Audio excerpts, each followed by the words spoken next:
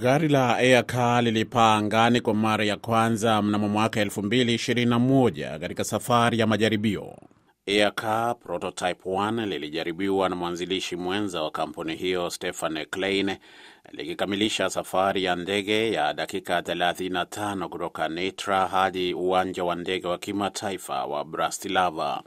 Sasa makubaliano ya kibiashara na Hebei Jianshin Flying Car Technology Company Limited yanahusisha kiasi kisichojulikana cha pesa, kulingana na taarifa iliyotolewa kwa vyombo vya habari na kampuni ya Clean Vision, na hiyo ina maana kwamba madereva wa magari ya Kichina wanaweza kuwa miongoni mwa watu wa kwanza kabisa kununua magari yanayopaa. Klein Vision imeuza kibali ambacho kinaidhinishwa kijiografia kwa ajili ya kuzalisha teknolojia ya hali ya juu ya magari ya kuruka angani kwa kampuni hiyo maarufu ya Kichina ya Hebei. Wakala unaowakilisha kampuni hiyo ya China uliliambia shirika la habari la Associated Press kupitia barua pepe.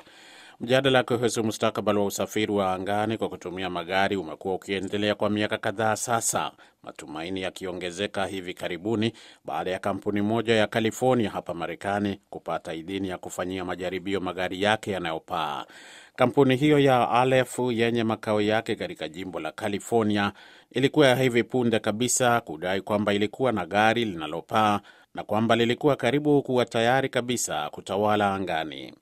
Kampuni hiyo inadai mfano wake wa gari la kupaa la Model A unakaribia kuwa ukweli.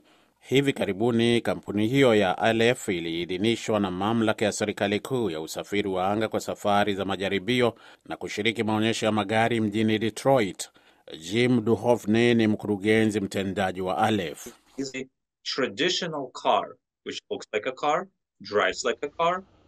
Ninaposema ni gari la kupaa, ni muhimu sana inachozungumza.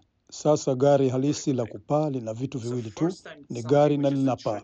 Nikisema gari, linaonekana kama gari, linaendeshwa kama gari, linaegesha kama gari. Kwa hakika ni gari linalofanya kazi kikamilifu. Inashangaza sana. Kwa ufahamu wangu, haijawahi kutokea kitu kama hicho katika historia. Kulingana na Duhovni, magari hayo yana uwezo wa kuruka kutoka ardhini kwa urahisi kuliko ndege za helikopta na wala hayahitaji sehemu kubwa ya kurukia kama ndege za kawaida.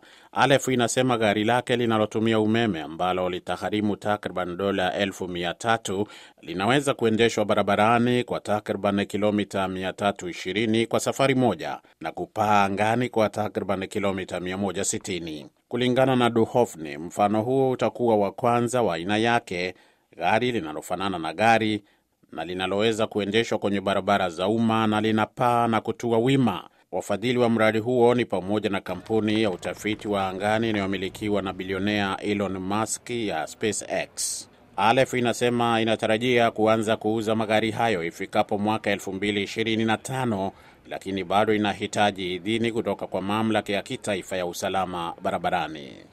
Kuhusu ni lini tutaona magari yakisongamana angani, kwa sasa hatuna jibu, lakini tunaendelea kusubiri. Kutoka meza ya sayansi na teknolojia, BMJ Mridhi, Sauti ya Amerika, Washington.